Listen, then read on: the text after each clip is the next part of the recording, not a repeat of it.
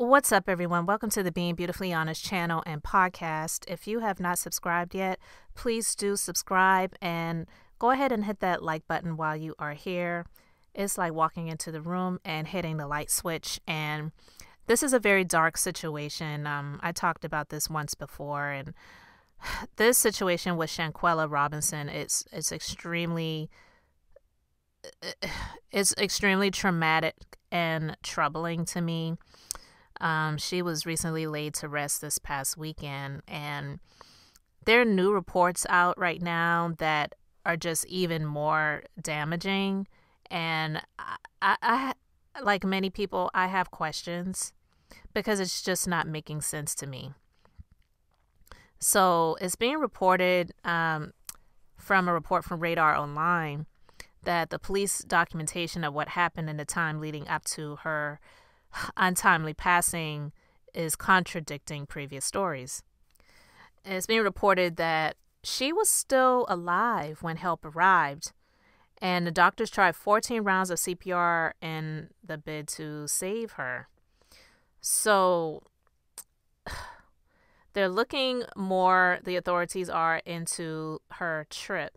And so, according to her death certificate, she passed within 15 minutes of suffering a spinal cord injury on October 29th.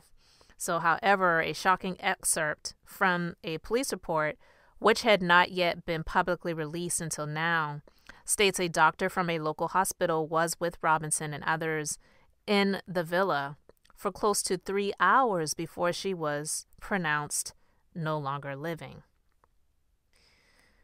And the update was reported on this by the Charlotte Observer following the revelations from Geraldo Zuniga, an investigative reporter who works in Los Cabos for Metropolimex. And around 2:13 p.m. on October the 29th, the excerpt claimed that medical help was called to Villa Linda 32, a property run by company Cabo Villas. And Radar Online exclusively confirmed that a video allegedly showing Robinson being repeatedly struck by a woman was captured in the same location. The, re- the police report, written in Spanish, states that Dr. Carolina Beatriz Ornelas Gutierrez of the American Medical Center arrived an hour later to treat Robinson. She, she was told the patient had drunk a lot of alcohol Robinson apparently had stable vital signs and was dehydrated, and the doctor explained this to the police. Gutierrez suggested they transfer Robinson to the clinic, but her friends requested that she be treated on site, according to the report. So the info from the police said the doctor was there for close to an hour when Robinson began having a seizure. So at this point, the patient's friend named Winter Donovan called 911 to request an ambulance. The report stated, noting Robinson presented with difficulty breathing and a lowered pulse. The report stated that paramedics administered a total of 14 rounds of CPR, five doses of adrenaline, and six discharges of AED shocks without success. Despite their efforts, Gutierrez declared her no longer living at 5:57 p.m.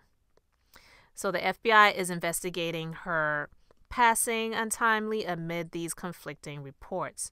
So as it was previously reported, Robinson's family believes there was foul play after obtaining an autopsy that stated she had a broken neck, despite her friends claiming she had alcohol poisoning.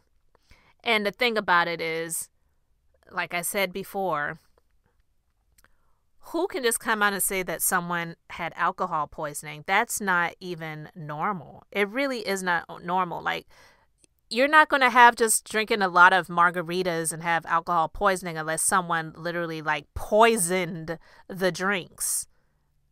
We're not talking about people just drinking straight bottles, like bottles and bottles of liquor. It that's not common. It's not that easy to happen.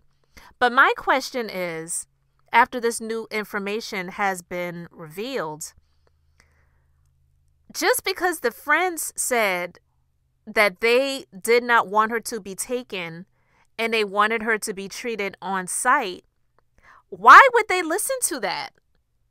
Because if it's about the health of this person and possibly saving a life, should it matter that the person or persons that are with that person says that no, we don't want her to be taken. We want you to treat her here. If you have other resources and other uh, you have other duties and obligations in terms of treating someone to see if you could save their life and there are other resources that you have offsite versus on the site of the villa why would they just listen to the friends so to me that is the question that just does not have a good answer a good enough answer for me and i would really love to know what you guys think about this because in my honest opinion even if the friends said or so-called friends said that that's what they wanted i don't believe that they would just do that just because their friend said no you can't take her you need to treat her here. Because then they said that the so-called friend Winter Donovan called for an ambulance after the fact. So I don't know who.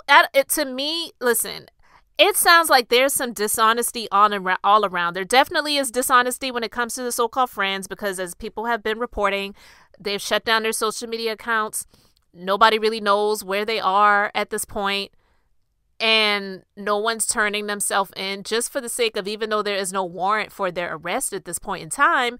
But if you aren't guilty of doing anything wrong why wouldn't you just try your best to try to rectify the situation so that answers can be given and this family can get the answers that they are seeking after having to put their daughter to rest that just doesn't make sense to me. But the other thing that doesn't make sense to me is the fact that they're saying that they didn't take her to treat her elsewhere because the friend said that they didn't want them to. Who cares? That's not even her next of kin. So, would they have any rights to tell them that we don't want you to take her you have to treat her here. So to me i'm i'm just saying that doesn't make sense to me. You guys can let me know your thoughts about that in the comment section because when i read that to me that was a huge red flag as well. So to me it sounds like there's dishonesty on a number of different fronts not just with the friends. I'm not saying that the friends are not guilty of anything because i do believe that they are but when it comes to that statement that sounds like a huge cop out to me. It really sounds like they didn't do all that they were supposed to do or could have done. So they're trying to blame that as well on the friends and say, oh, well, you know, we would have taken her, but they said not to, so we didn't. That's bullcrap. I don't care what country you're in. But I'm going to end it there because I'm really triggered right now. It's just this whole situation has really made me angry. And a poor young soul has lost her life for no good reason at all. And this family deserves answers. They deserve justice. And I hope and pray that they get everything that they are seeking and sooner than later. So, you guys let me know your thoughts about this in the comment section. Thank you so much for liking this video and subscribing. And until the next time, this is Beth, and I'm just being beautifully honest.